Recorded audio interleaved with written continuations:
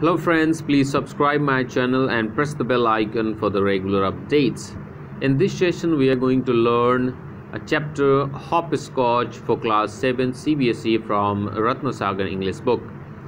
Hopscotch is a street game.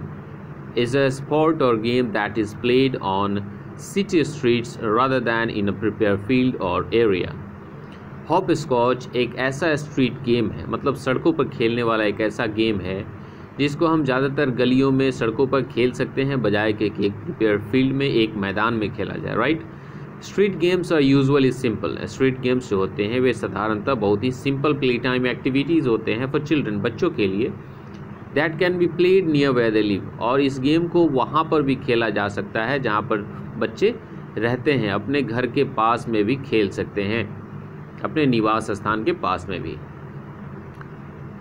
दिवन street game एक ऐसा street game every little child in India हर एक छोटा बच्चा जो कि भारत में रहता है हैज़ प्लेड इज़ जो कि इस गेम को खेल चुका होगा। इसको कहा जाता है जिसको कहा जाता है टापू इखट दुखट और पांडी इसको अलग अलग स्टेट्स में इंडिया के अलग अलग स्टेट्स में अलग अलग नाम से जाना जाता है। और it is commonly known as और इसको साधारणतः कॉमनली जा, जाना जाता है किट किट किट किट के नाम से। Is played all over India जो कि पूरे भारत में खेला जाता है on the streets and in playground और इसको स्ट्रीट्स में, गलियों में, सड़कों पर भी खेला जाता है और इसको प्ले ग्राउंड में भी खेला जाता है। It is known as Kuntebille in Karnataka Karnataka में इसे कुंटेबिले के नाम से जाना जाता है। पांडी इन तमिलनाडु तमिलनाडु में इसे पांडी के नाम से जाना जाता है। एंड टोकुड्डू बिला इन आंध्र प्रदेश और आंध्र प्रदेश में इसे टोकुड्डू बिला के नाम से जाना जाता है। एंड खाने इन काश्मीर और काश्मीर में इसे खाने के नाम से जाना जाता है the game called hopscotch in English is a part of our childhood और इसको इंग्लिश में इस गेम को इंग्लिश में हम क्या कहते हैं हॉप स्कॉच कहते हैं जो कि हमारे बचपन का एक भाग होता है मतलब इस गेम को हम लोग बचपन में बहुत ज़्यादा खेलते हैं it is a good game for children because it needs very little space to play यह बच्चों के लिए एक बहुत ही अच्छा गेम है, क्योंकि इसको खेलने के लिए बहुत ही छोटे जगह की ज़रूरत पड़ती है and can be played both outdoors and indoors और इसे घर के बाहर भी खेला जा सकता है और घर के अंदर भी खेला जा सकता है। A chalk is use to draw a course of eight numbered squares on the ground like this एक चौक मतलब एक खली की ज़रूरत पड़ती है हमको एट नंबर्ड स्क्वायर लाइंस को ड्रॉ करने के लिए, और इसका फॉर्मेशन ऐसे होता है, आप देख सकते हो। आप अपने ग्राउंड पे, आप अपने, जहाँ पर भी आपको जगह मिलता है इतना सा तो आप इस तरह का एक फॉर्मेशन बनाकर एक से लेकर आठ तक का नंबर ड्रॉ कर सकते हैं। इसी को किटकिट किटकिट कहा जाता है और इसको इंग्लिश में हॉप स्कॉच कहा जाता है। To play the game a player needs a marker इस खेल को खेलने के लिए एक प्लेयर को, एक खिलाड़ी को एक मार्कर की ज़रूरत पड़ती है such as a flat stone और वो मार्कर क्या होता है? एक चपटा सा पत्थर हो सकता है। जैसे देख सकते हो इस पिक्चर में इस बच्चे ने एक चपटा सा पत्थर लिए हुए अ टाइल और shell the player stand behind the starting line जो प्लेयर होता है, वो इस स्टार्टिंग लाइन के पीछे खड़ा होता है and is the marker into the first square और अपने मार्कर को, अपने ढापू को फ़र्स्ट स्क्वायर में थ्रो करता है, फेंकता है।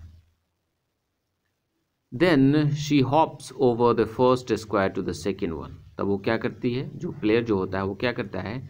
वो पहले वाले स्क्वायर में ना जंप करके दूसरे वाले स्क्वायर में जंप करता है, व उसके ओवर, उसके वर्टिकली जंप करता है।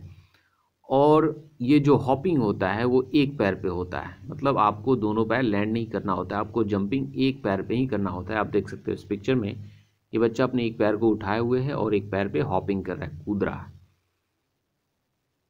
And the continues and the continues hopping to the eighth square और ये जो कूदने का सिलसिला होता है, ये आठवें स्क्वायर तक चलते जाता है। मतलब आप दूसरे में, दूसरे से तीसरे में और तीसरे से चौथे में। यहाँ पर एक ये है, ये जो फोर और फाइव जो स्क्वायर है, ये लेटरल है।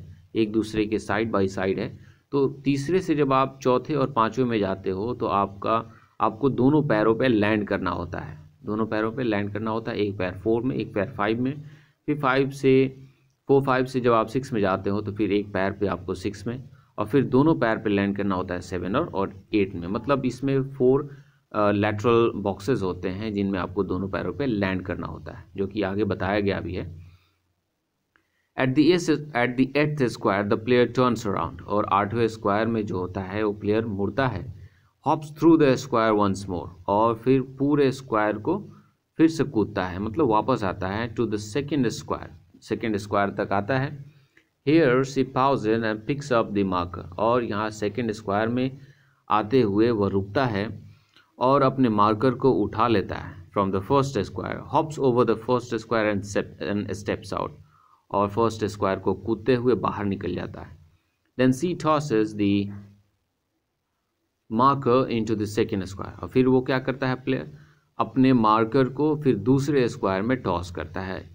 The game continues like this और इस तरह से गेम आगे चलता रहता है until all eight squares have been played and the player completes the lap successfully और ये खेल तब तक चलते रहता है जब तक एक प्लेयर पूरे आठवें स्क्वायर में अपने धापू को, अपने स्टोन्स को थ्रो करता है और उस लैब को सक्सेसफुली कंप्लीट करता है। All hopping is done on one foot जैसा कि मैंने पहले ही बताया कि जितना भी कूदने का काम किया जाता है, वह सिर्फ़ एक पैर पे किया जाता है।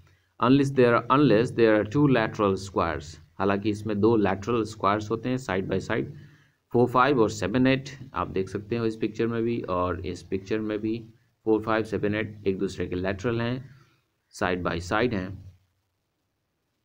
Where the player has to land on both feet जहाँ पे प्लेयर को दोनों पैरों पे लैंड करना होता है with one foot on each square और उन, उनके जो पैर होते हैं दोनों पैर एक एक स्क्वायर में होते हैं।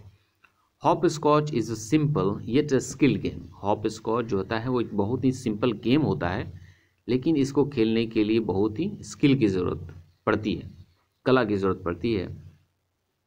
It requires physical agility and nimbleness इसमें एक प्लेयर को शारीरिक तौर पे फुर्ती और तेज़ी की ज़रूरत पड़ती है and test the player's balance and precision और यह एक खिलाड़ी के बैलेंस उसके संतुलन और उसकी निपुणता का इम्तिहान लेता है।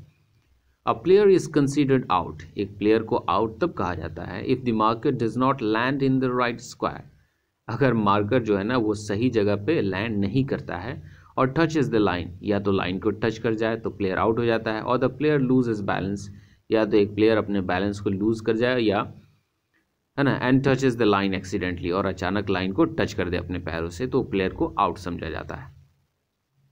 There are several other rules and variances and variations of the game which add to the fun and difficulty level.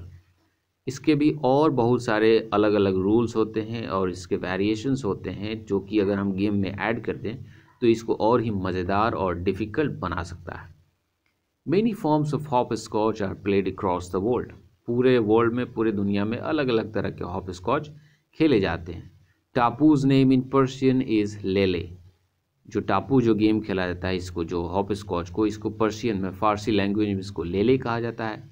A French variant is known as और एक फ्रेंच वेरिएंट जिसका कहा जाता है एस्कैरगोट फ्रांच में से एस्कैरगोट या स्नेल कहा जाता है, और मेरेलेरोंडे round hopscotch in Germany Austria and Switzerland Germany Austria and Switzerland में इसे कहा जाता है हिमेले हिमेल एंड होले लाइक हेवन एंड हेल स्वर्ग और नर्क। The first square is called इर्डे first square को क्या कहता है? इर्डे या अर्थ कहा जाता है। While the second last square is होले और सेकेंड लास्ट मतलब सेवेंथ स्क्वायर को कहा जाता है। हेल मतलब नर्क। And the last one is Himal और लास्ट वन मतलब एट्थ स्क्वायर को कहा जाता है। Heaven the numbers hopscotch game is a fun the numbers hopscotch game is a fun variation on an old favourite और एक एक हॉप स्कॉच होता है, जिसको नंबर हॉप स्कॉच कहा जाता है, जो कि बहुत ही पुराना और फेवरेट हॉप स्कॉच है। You don't need to toss a stone और use a marker for this version of hopscotch इस हॉप स्कॉच के वर्जन में आपको पत्थर फेंकने की ज़रूरत नहीं पड़ती है, या मार्कर की धापों की ज़रूरत नहीं पड़ती है। Just keep hopping on one foot and try not to step on the wrong squares इसमें आपको सिर्फ़ एक पैर पे कूदने की ज़रूरत होती है और ये ध्यान देना होता है कि आप गलत स्क्वायर में जंप न कर जाएँ। Think it's easy give it try आपको लगता है ये आसान है तो आप इसको एक बार ट्राई कीजिए। अब देखो नंबर हॉप स्कॉच क्या है। इस वाले के बारे में बात की जा रही है। इसमें क्या होता है? इस तरह का एक फॉर्मेशन होता है, ठीक है? जिसमें वन से लेकर ट्वेल्व तक का स्क्वायर होता है। या तो आप इस वाले की तरह से बना सकते हैं, या तो आपका फॉर्मेशन ऐसे हो सकता है। इसमें आपको क्या करना होता है? इस बॉक्स को जब आप पढ़ोगे तो आपको पता चल जाएगा। इसको खेलने का तरीका। इसमें आपको स्क्वायर वन से टू में जाना होता है, टू से थ्री थ्री से फोर और फोर से आपको इस वाले पूरे एरिया को छोड़ते हुए फिफ्थ में डायरेक्ट आपको जंप करना होता है। फिर फिफ्थ से सिक्स सिक्स से सेवन सेवन से एट और एट से फिर जंप करना होता है, नाइन नाइन से टेन टेन से एलेवन एलेवन से ट्वेल्व और फिर आप सेम प्रोसेस आपको इस वाले स्क्वायर में भी करना होता है। तो इसको कहा जाता है नंबर हॉप स्कॉच ठीक है तो आप इसको ट्राई कर सकते हो और फिर बता सकते हो कि ये कितना ईजी है और कितना हार्ड है, ठीक है? Does that seem too easy क्या आपको ये बहुत ही आसान लगता है? Make it make it trickier for players for making them put their hands behind their backs and repeat the process और jump only on on even और odd numbered squares in the sequence अगर आपको ये वाला जो number square है, ये खेलना बहुत ही आसान लगता है तो इसको थोड़ा सा और ट्रिकी बना दो। इसको और ट्रिकी बनाने के लिए क्या कर दो कि जो प्लेयर है वो अपने हाथ को पीछे पीछे बैक साइड में बाँध कर रखेगा और इसके, इसको जो है ना, इसको जंप करने का जो तरीका है, इसमें थोड़ा सा और ट्रिक कर दिया जाए। इसको सिर्फ़ ऑड या इवन नंबर में ही जंप करना है। सपोज़ करो कि अगर आपको इवन नंबर लेना है तो आपको टू से फोर फोर से सिक्स है ना सिक्स से एट ऐसे जाना है, या तो और जाना है वन से थ्री थ्री से फाइव फाइव से सेवन ऐसे जाना है। तो आप ऐसा करके भी देख सकते हो और फिर बता सकते हो कि इसका डिफ़िकल्टी लेवल कैसा है। Such traditional games act as learning aids और इस तरह का जो ट्रेडिशनल गेम होता है, जो पारंपरिक खेल होता है, इसको, इससे लर्निंग एड्स भी कहा जाता है, इससे लोग कुछ सीखते भी हैं। दे टीचर्स मैनी थिंग्स और ये हम लोगों को बहुत सारी चीज़ें सिखाती हैं। इस तरह के गेम्स हमको बहुत सारी चीज़ें सिखाती हैं। To learn to win and lose हारना और जीतना सिखाती हैं। टू ऑब्ज़र्व कीनली और पूरे मन से किसी चीज़ को ऑब्ज़र्व करने का, पूरे एकाग्रता से किसी चीज़ का ध्यान रखने के बारे में ये सिखाती है। And to develop our maths and sensory skills और ये हमारे मैथ्स को, हमारे गणित को और हमारे दिमाग के सेंसरी स्किल्स को मतलब किसी चीज़ को को परखने की क्षमता को बढ़ाता है, उसका विकास करता है। To improve motor skills and hand eye coordination और ये मोटर स्किल्स और हैंड आई कोऑर्डिनेशन को भी इम्प्रूव करता है। To plan and think logically plan और लॉजिकली मतलब लॉजिकली मतलब कोई भी चीज़ कैसे होता है, इसको हमें सिखाता है। And last but not least to have fun और आखिरकार जो हमें सिखाता है वो ये सिखाता है कि हम फ़न कैसे करते हैं हम मज़े कैसे करते हैं हम अपने दिमाग को चिल आउट कैसे करते हैं। So this was the complete explanation of the chapter hopscotch you can give me your feedback how was the explanation. You can uh, if you find this video beneficial आपको इस video से ज़रा सा भी information मिला हो तो एक लाइक ज़रूर कीजिएगा, एक कमेंट कीजिएगा and if you are new to this channel please subscribe it see you in the next explanation bye